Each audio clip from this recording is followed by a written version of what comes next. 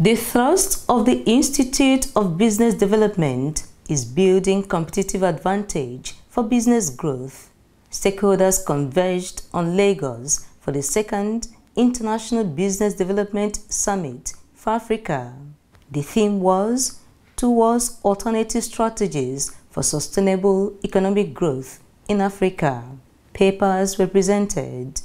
Dr. Friday Okpara is the Director, Strategic Partnership and Liaison of the Small and Medium Enterprises Development Agency of Nigeria.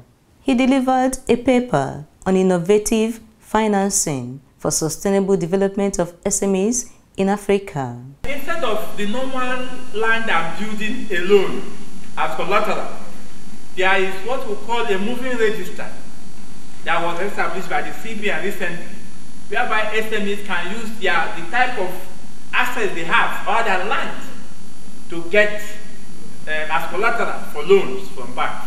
He advised Nigeria to step up in the area of quality control. All the goods you see in the African market, be it in the UK, in America or Canada, are Nigerian goods. But the thing is that when Ghana comes to Nigeria, they go to Zaki Biam and go to Awayam and move it to Ghana and do whatever they want to do in terms of policing and so on and so forth. It's no more Nigerian goods. It's now they come to Kuala, Niger State, Nassau, along that belt, they have they have um, shea butter very well. And shea butter is used for chemical and pharmaceutical um, industry very, very well. They regard it. The one Chinese will come to buy here, uh, India will come to buy, then they process. It becomes their own, not no more Nigeria. Because we don't have that processing capacity. If you go to ordinary Ghana, they have all, all, over 20 labs to look at your product and so on and so forth. But we heard that in Nigeria, now they don't have even up to five labs. Shola Orabori, the Deputy Managing Director of FedEx Nigeria, spoke on promoting manufacturing to accelerate economic growth and reduce volatility in Africa. Government has a lot of you know, policies and institutions that have been set up to drive technology. How well they are working or how well they are able to respond to the needs of today uh, is uh, yet to be seen. Much of that is yet to be seen in terms of how it's impacted our economy.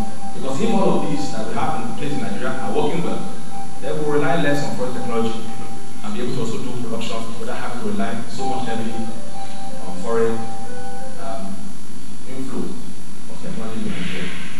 Number two, favorable regulatory and financing environment. Engineer Saleh Dunoma is the Chief Executive Officer of the Federal Airport Authority of Nigeria. He spoke on facilitating the development of international aviation business.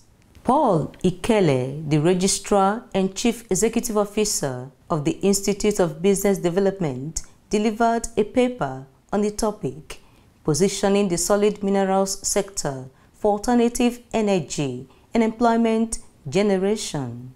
After the paper presentations, there was a panel discussion. The discussants preferred solutions to our national challenges. Nigerians are, you know, eager to do things, but the problem is that the infrastructure and the, you know, the things we need to do it and the government policies are not helping us. So what we need is government to really come out with, let them liberalize this energy sector, and then somebody can uh, decide to uh, have uh, uh, a plant that will give uh, light for a small community and then charge them, you know, economically. And by the time you do it, instead of doing national grid, disco, that and that, make it small areas and let people provide electricity for those areas and then do business and charge them. A lot of people, you see growth in this country. We need to evaluate nearly all of our processes. We tend to have very good legislation.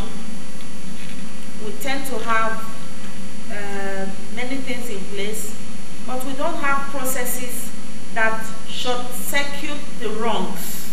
For those people who are in business, oil and gas, and in fact, for any other business, employ people who are capable of doing what they need to do. If you are a business you think IT is not important, not necessary. I can tell you in the next one to three years, they're going to go out of business. They're going to actually go extinct. Because the platform in which you grow a business today is technology. Two people were inducted into the institute these stakeholders believe that the time for Africa to be an economic world power is now.